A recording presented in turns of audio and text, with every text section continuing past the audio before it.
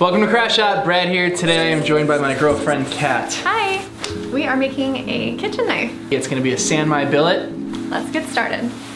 All right, so for this blade, we're gonna be using five layer Sanmai. This is a billet that I forged up the other day with my brother, and today Cat and I are gonna be turning it into a kitchen knife. We're gonna start off by lighting the propane forge. We are not using the coke forge outside today because it's too windy.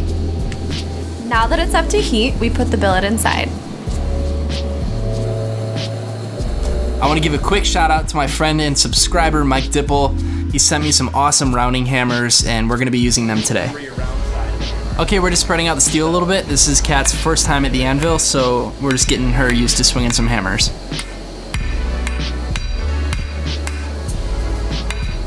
We're shooting for about an eighth inch in thickness on this blade. The billet's pretty large right now. We're gonna go ahead and drop the thickness a little bit.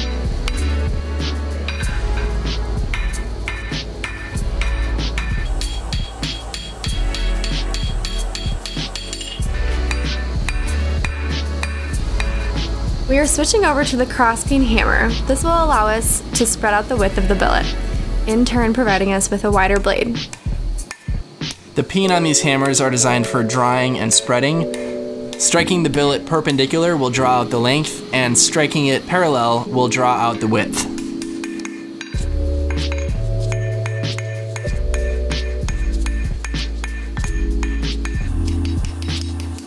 Switching back over to our rounding hammers, we're going to remove any marks left from our crosspeen hammer.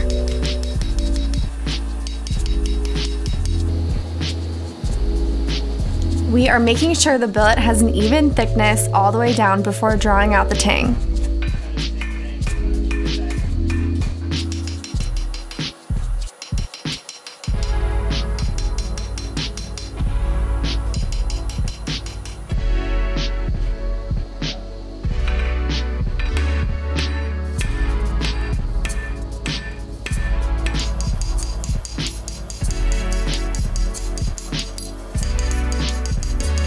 This is a hidden tang knife. That means that the width of the tang needs to be dropped drastically so that it can fit inside of a handle.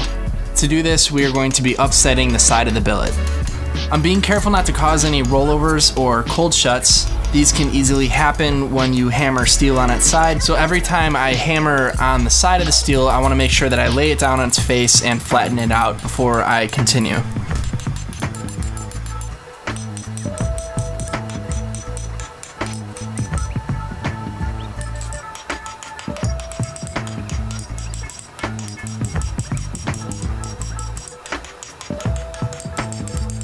Because we're making a drop point blade, we're going to be working in both of the corners to develop a point.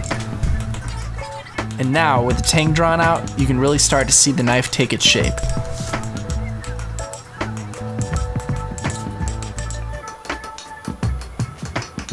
To cut down on grinding time, we're going to be pounding in our bevels, and this is also going to give us a little bit more width on the blade. Pounding in bevels forces your blade to curve back towards its spine, so before pounding in bevels, I like to curve the blade away from its spine.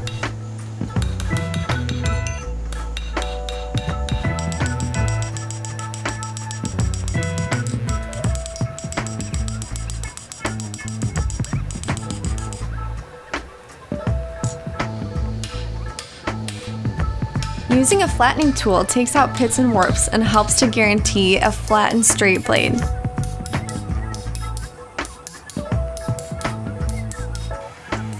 We're eyeballing the blade against the anvil to make sure that it's flat.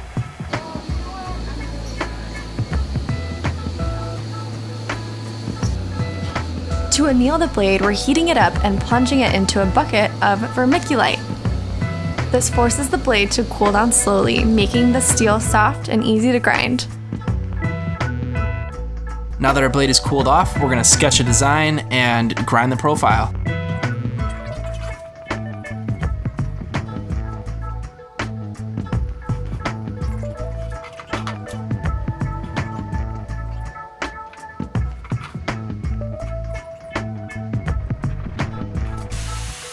Based on Brad's drawings, we're removing all of the material outside of the lines, and we're going to start by using an angle grinder.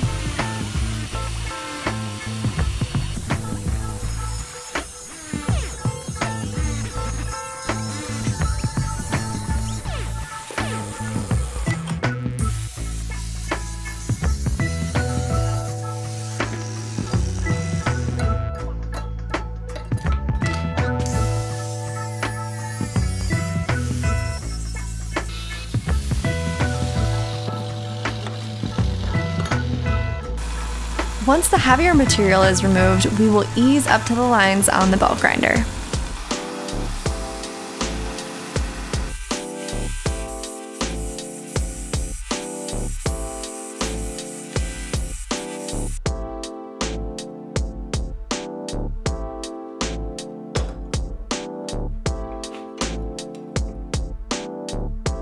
I'm using a file to clean up the blade where it's going to junction with the handle.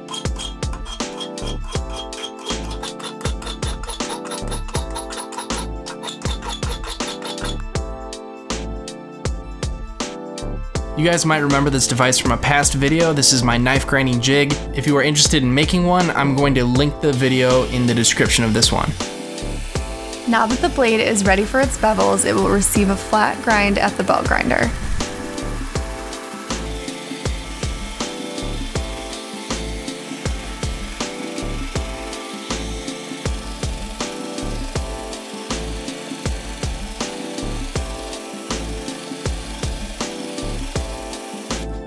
Once the first side is close to fully ground, we flip it over and do the other side.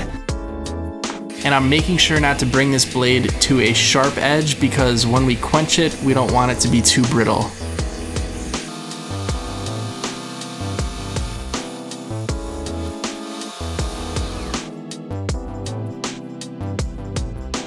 And you can see here that we've left a little bit of meat on the bone. In order to pin the blade to the handle, we are drilling a hole in the tang. We're using a slow speed and cutting oil to help with this process. Without annealing the blade, it would be very hard to drill through the steel. And we've chamfered the hole to help the pin glide into place a little easier. We're firing up this forge again, getting this blade prepared for quench.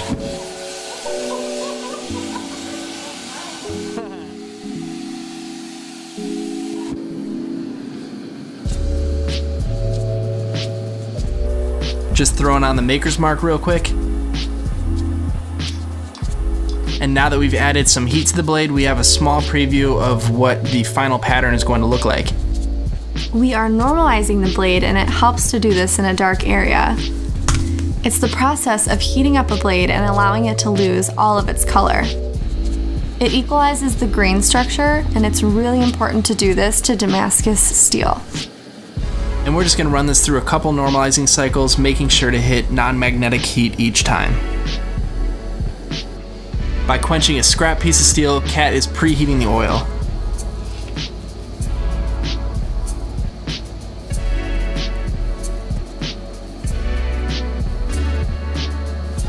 Now in for the quench. I'm being sure to keep it moving until it stops smoking.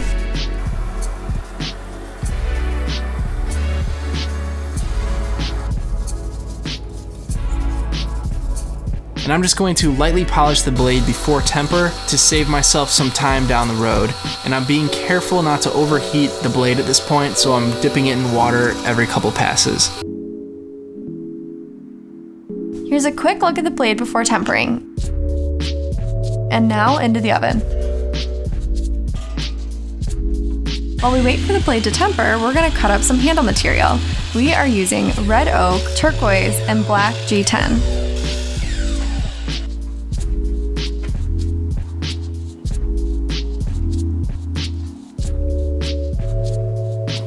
To attach the handle components, I'm using Loctite's 5 minute heavy duty epoxy with equal parts resin and hardener.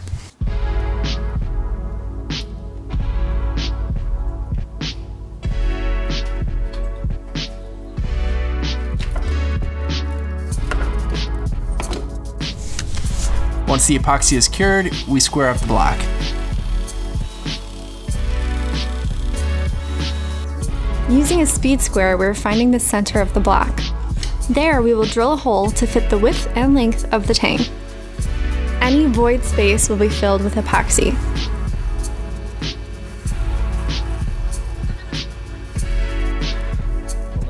I'm using a piece of G10 as a cap or bolster to the rest of the handle material.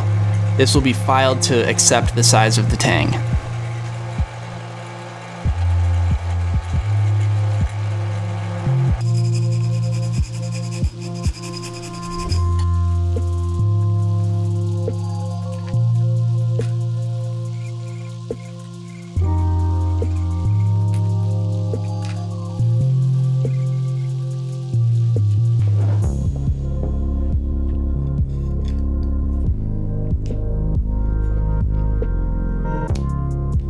That we have a tight fit and everything's lined up, we drill a hole in the handle material to line up with the hole in the tang. This is where our pin will be in place.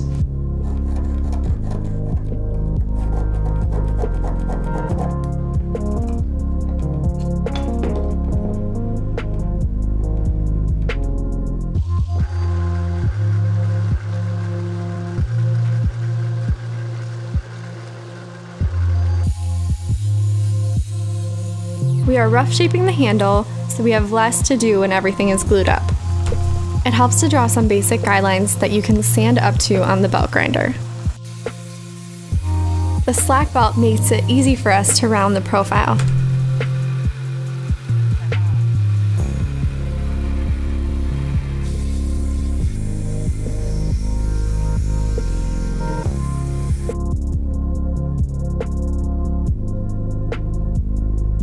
Now we need to polish the edge. It's always a good idea to do this before you glue up the handle. We'll be hand sanding up a series of grits, starting around 220 and moving up to at least 1000. I like to clamp the blade so that it overhangs the workbench. Using a piece of wood underneath will help to prevent any warps or bends. Using light pressure and some cutting oil, we start moving up grits. Spending a lot of time on the lower grits makes the higher grits go by a lot faster, but if you want really good results, this is generally a time consuming process.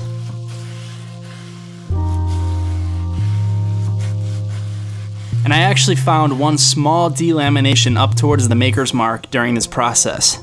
Delaminations happen when steel starts to separate in a forge weld. Because of its size and its position, it would never compromise the integrity of the knife, but because of it, I would never sell it. Stay tuned for the end of this video, we're going to announce a giveaway for this blade. We are etching this in ferric chloride to bring out the Sanmai pattern. We are using soap and acetone to make sure the blade is grease-free.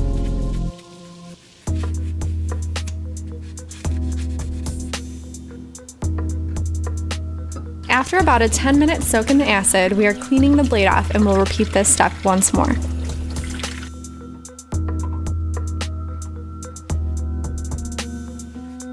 After the acid etching, it's time to reveal its final pattern. We'll do this by hand sanding the high spots with a high grit. And there's a close look at the five layer Sanmai pattern. Again, we used 1080 and 15N20.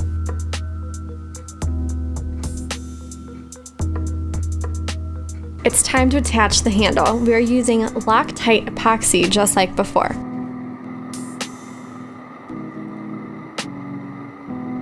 To ensure that the handle is completely filled with epoxy, we're using a heat gun to help it settle into the hole.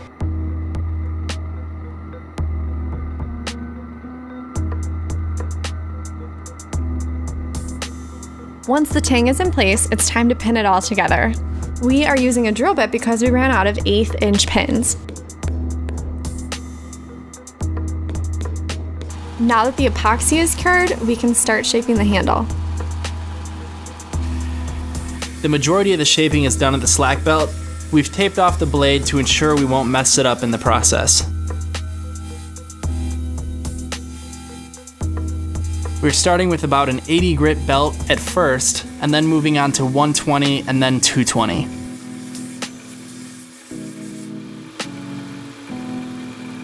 To create a darker finish, we're going to be burning the handle before moving on to hand sanding.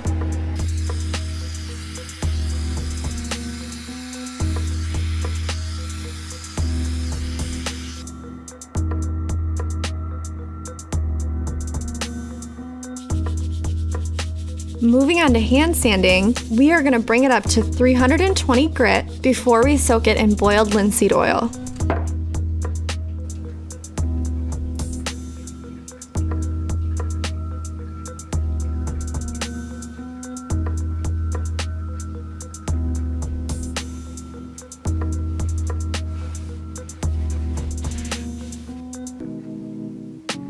After about a three hour soak, we are going to sand off any raised grain and bring it up to about 400 grit.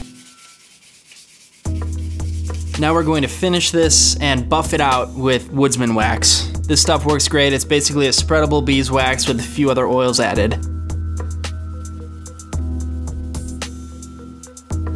And there's the handle all finished up. Now we just need to move on to sharpening. We are adding a secondary bevel with a file and then moving on to a diamond file. And then finally, we repolish the edge and move on to a leather strop. And there's the blade all finished up.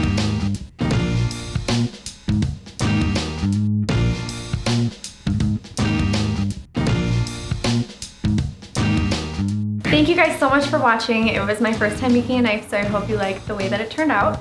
And like we said before, this knife is up for a giveaway. You can check that out at the Timberlee Tool and Trade Instagram. If you have any comments or questions, please feel free to drop them down below. Thanks again for watching. Don't forget to subscribe and we'll see you in the next video.